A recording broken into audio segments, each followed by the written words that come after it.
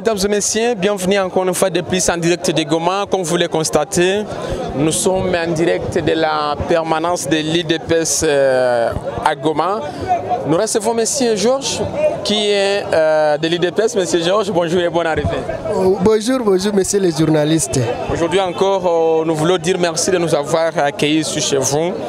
Euh, à l'IDPS, mais en tout cas nous voulons analyser euh, plusieurs questions d'actualité euh, qui concernent surtout notre pays en général, mais qui touchent notre province, le Nord Kivu. Euh, il faut rappeler que euh, c'est depuis le week-end dernier que les M23 ont encore euh, attaqué les positions des FARDC dans les Ruchuru.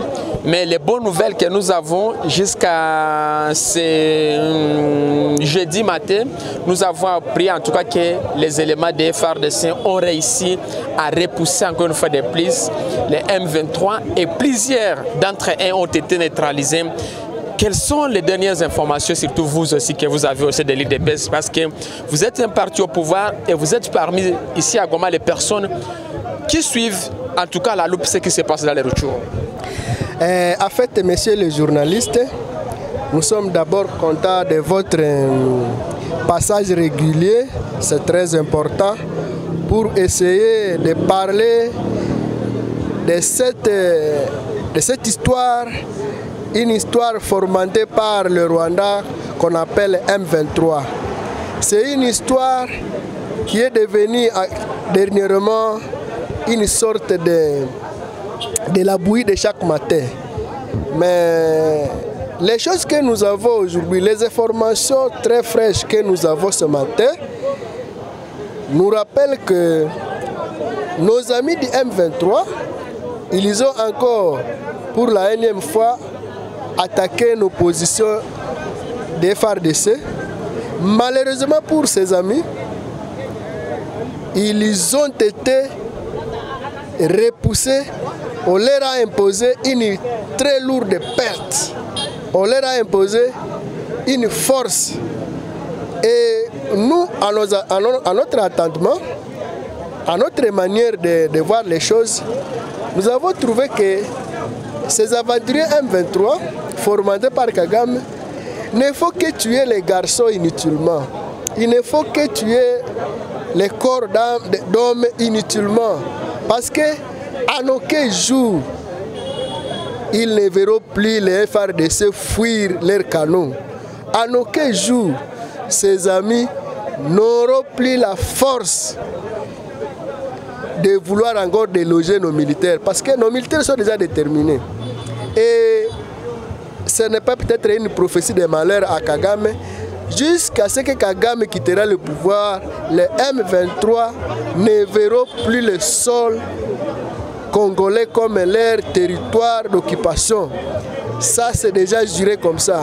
Mais qu'est-ce qui explique, professeur, qu'est-ce qui explique que les M23 s'agitent pendant qu'il y a eu les dialogues, des consultations qui se déroulent au niveau de Nairobi, parce que ces consultations, il faut préciser que euh, c'est depuis hier qu'on a clôturé ces consultations. Il y a le président Tshisekedi qui a montré la volonté euh, de dialoguer avec les groupes armés qui continuent à déranger dans l'Est. Mais du coup, on voit encore les M23 qui dérangent pendant qu'il y a les consultations en cours. En fait, euh, les M23, comme euh, d'habitude, ils croyaient que Félix va faire comme le prédécesseur. Le prédécesseur, vous voulez dire qui? Nous voulons parler de Joseph Kabila Kabange, qui lui avait déjà fait l'histoire M23 comme un fort de commerce. Quelque chose dans laquelle les gens se retrouvaient au détriment des Congolais. Et maintenant, aujourd'hui, avec cette format tshisekediste, ils croyaient qu'ils viendraient encore imposer leur force et vouloir amener Tshisekedi dans l'histoire du passé. Mais heureusement, heureusement que nous avons un fils du pays qui a réellement montré qu'il faut que les choses changent. Et il faut que le M23 aussi change. Sinon, ses amis seront l'engrais de notre sol. Parce que, bon, imaginez chaque jour, vous venez, on vous frappe, vous venez, on vous frappe. Il n'y a même pas une conscience qui peut dire que, ah, finalement, j'arrive et on me frappe, j'arrive et me frappe. Est-ce que je ne vais pas aussi changer la donne? Et voilà maintenant, sans pour autant mentir à nos compatriotes congolais, mes chers frères, avec l'avènement Tshisekedi et les FRDC et le peuple congolais, surtout notre Kivusion, a pris la conscience. Il est revenu à la raison. Ah, pourquoi tous ces amis qui viennent toujours nous faire tuer, qui viennent déranger notre inquiétude, qui viennent déranger notre économie, notre façon de vivre, notre paix, il faut encore leur emprunter le pas.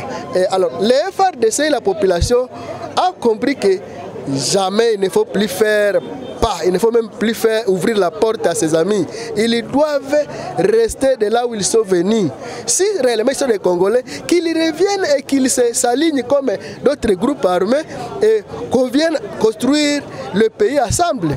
D'accord. Alors, euh, en vous écoutant, en tout cas vous, vous euh, vous faites la description de ce qui se passe sur la M23, mais Georges, permettez-moi que je revienne sur cette question, parce que euh, les Congolais, en tout cas ça divise les Congolais, et ça, euh, c'est aujourd'hui au, centre des controverses.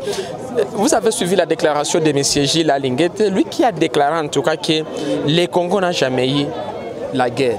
C'est quoi la position de l'IDPS face à cette déclaration? En fait, je ne suis pas avocat de M. Alinguetti, mais cependant, les gens l'ont compris très mal. M. Alinguetti était d'abord dans un cadre épais circonscrit. Lui voulait persuader les investisseurs d'entrer au Congo. Mais il n'a pas dit que nous n'avons jamais connu de guerre. Il a dit que... Dans ses propos, il a, bien, c'est bien précis. Mais, messieurs, si vous avez suivi cette déclaration, cette vidéo qui circule sur les réseaux sociaux Effectivement, nous sommes à Goma avec vous. Est-ce que vous allez me dire quel élément à Goma il y a la guerre? Ce matin, on a suivi des agitations parce qu'on a tué hier soir. en fait, à Goma, il n'y a pas de guerre. Moi, avec vous, nous vivons à Goma. Cependant, à Goma, il y a toujours des criminalités urbaines qui, ont toujours été vécues même ailleurs. Même aux États-Unis, il y en a toujours. Il a parlé de l'Est en général. À l'Est, bien sûr. Par exemple, avec euh, les phénomènes ADF, c'est vrai, il y en existe, mais pas dans, tout, dans tous les territoires de Beni, par exemple. Moi, j'ai plusieurs fois été à Beni. Quand on arrive à Beni, surtout à Beniville, vous ne sentirez même pas qu'il y a ADF. Mais, en réalité, dans les fonds faits, les ADF existent. Mais ça doit toucher tous les Congolais. Maintenant, à cause de cela, on ne peut pas directement sacrifier tout un pays de ne pas recevoir les, les, les investisseurs. Donc, à cause seulement d'un petit coin de Beni qui connaît des problèmes, il faut dire aux investisseurs de ne pas venir. Nous devons quand même vêtir la congolité sur nos corps. Quand Alingeti a défendu la cause du Congo, ce n'est pas pour dire qu'il a sacrifié toutes les âmes qui ont toujours péri. Non, il a voulu d'ailleurs. D'ailleurs, si les investisseurs arrivaient, peut-être que même cette guerre s'amoindrirait. Pourquoi maintenant vouloir embellir quelque chose qui n'est même pas embellir? Même si je ne suis pas son avocat, même si je ne suis pas membre de ce service, mais au moins, il a quand même circonscrit sa, son problème. Il a, il a demandé aux investisseurs, venez, le Congo, ce n'est pas comme vous le connaissez sur médias. Essayez d'y arriver. Il y a des milliers où vous n'avez même pas de crépitement de balles qui, a, qui vous attend pour investissement. Alors, de cette façon, que cette façon-là de, faire les choses ne puisse pas nous diviser, messieurs les journalistes. Nos députés agités par, je ne sais pas, peut-être la mauvaise foi, ils veulent faire de cette question un, un venin un poison. Non, nous devons grandir. Et surtout que ce pays nous appartient tous. Et le bonheur, si le, si le, si le pays trouvait le bonheur, c'est tout, le, tout le monde qui aura le bonheur. Mais pas seulement à Lingeti. Il y a la Luchan qui demande à M. Alingeti de retirer ses propos et déposer sa démission. Que répondez-vous à ces jeunes? Je pense que les amis de la louche, je les respecte beaucoup ils ont déraillé. Ils ne savent pas qu'est-ce que ce Congo. Ils ne savent pas qu'est-ce que qu'est-ce que nous avons qu'est-ce que les Congolais ont besoin Ce dont nous avons besoin, c'est d'abord la paix et l'investissement. Mais quand ils disent qu'il doit démissionner, je ne vois pas, il doit démissionner sur base de quoi? Qu'est-ce qu'il a fait de mal pour démissionner de ce poste d'un inspecteur des finances? Est-ce que cela a des concomitances? Quelqu'un qui n'a fait que ses avis, il est inspecteur des finances, il doit, il doit démissionner. Pourquoi? Je pense que les amis de la lutte aussi doivent quand même réglementer aussi leur façon de, de s'exposer aux médias. Je pense que Alinguet n'a fait qu'un rôle de vouloir ramener les investisseurs, surtout l'argent au pays, pour que nos, nos, nos enfants, pour que nos jeunes, nos étudiants puissent un jour trouver de l'emploi. D'accord. Après cinq jours de consultation à Nairobi, euh, ces assises se sont clôturées hier à Nairobi. Qu'est-ce que vous, en tant que fils du Nord Kivu, peut attendre de ces assises? En fait, euh, moi d'abord comme enfant du Kivu, enfant du Grand Nord, j'attends la paix et rien que la paix de ces assises. Et je passe bien, avec la foi que j'ai, je pense que les assises de Nairobi ont une spécialité par rapport à d'autres assises que nous avons déjà connues dans ce pays. Parce que là, on n'a pas accepté cahier de charges de qui que ce soit. C'est une nouveauté. Là, on a seulement prêché les groupes armés à entrer le programme PDDRC et à le prendre comme leur projet propre. Parce que quand la paix n'est pas ici chez nous, et nos frères, et les mères de ces enfants qui sont dans la forêt, tous sommes victimes. Mais quand la paix revenait, et ma mère, et ta femme, et ma femme, et mes enfants, et tous les enfants de l'Est les, seront les premiers bénéficiaires de cette paix. Et c'est pourquoi, avec la foi que moi j'ai, avec cette façon de faire de M. Tshisekedi, ce savoir-faire qu'il a, j'ai la foi que la paix va revenir et que ses amis vont réellement entrer dans le programme PDDRC et les prendre pour leur projet propre à eux. Ces assises, on peut dire que c'est un pari gagné pour Tshisekedi?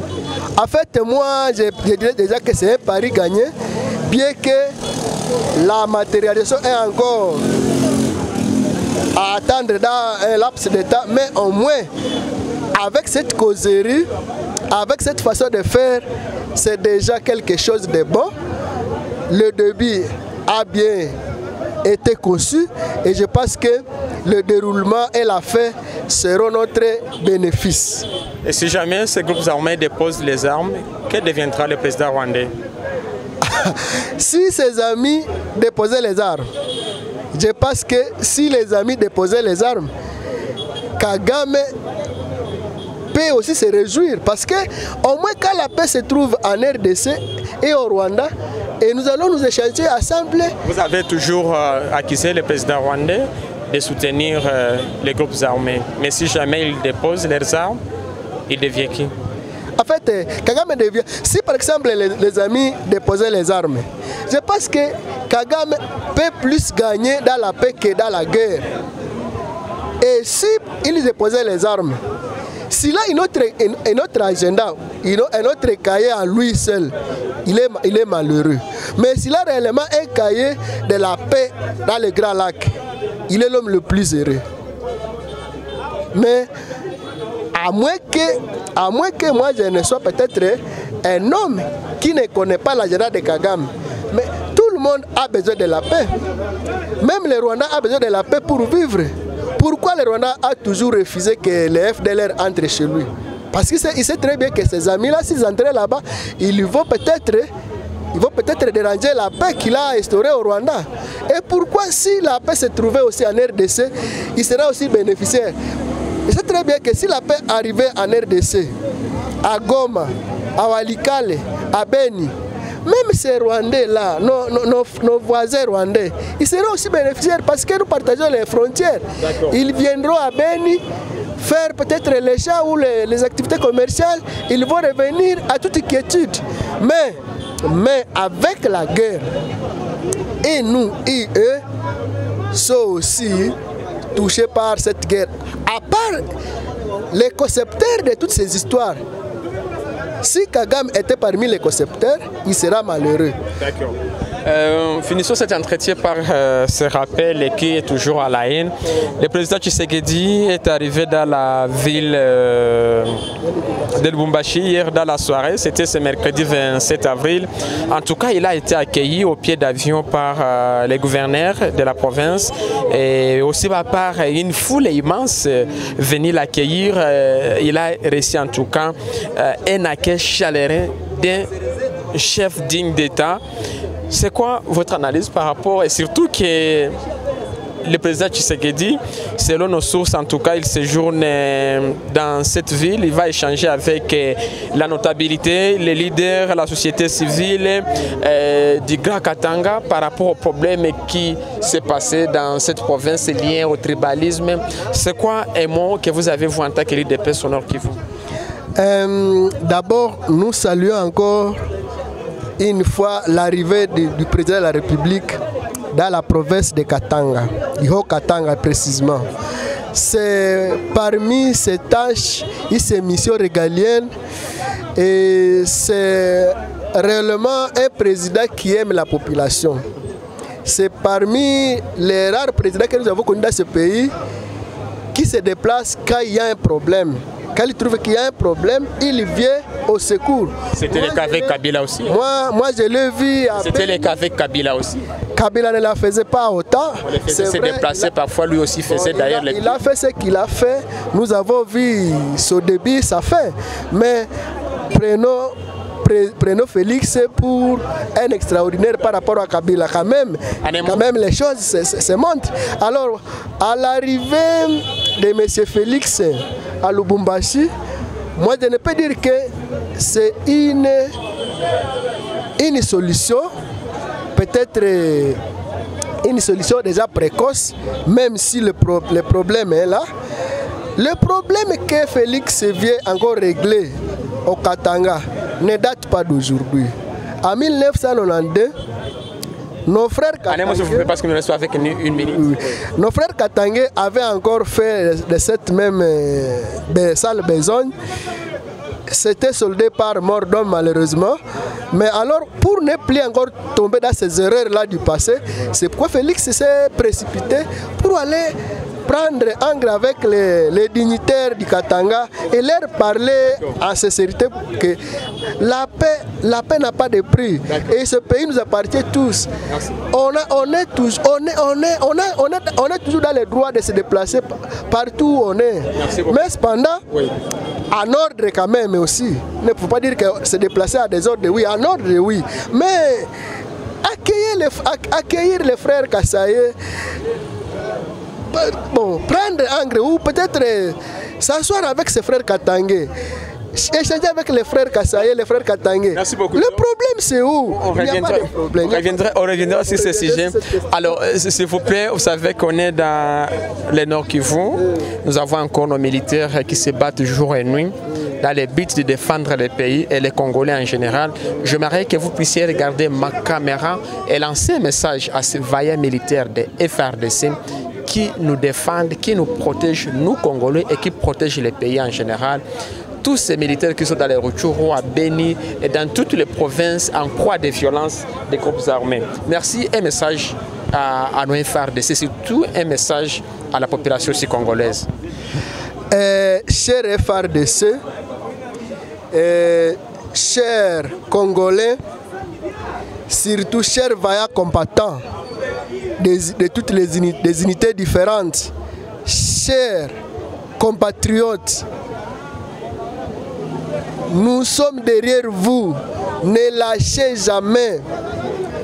Pour cette mission, vous avez prêté serment.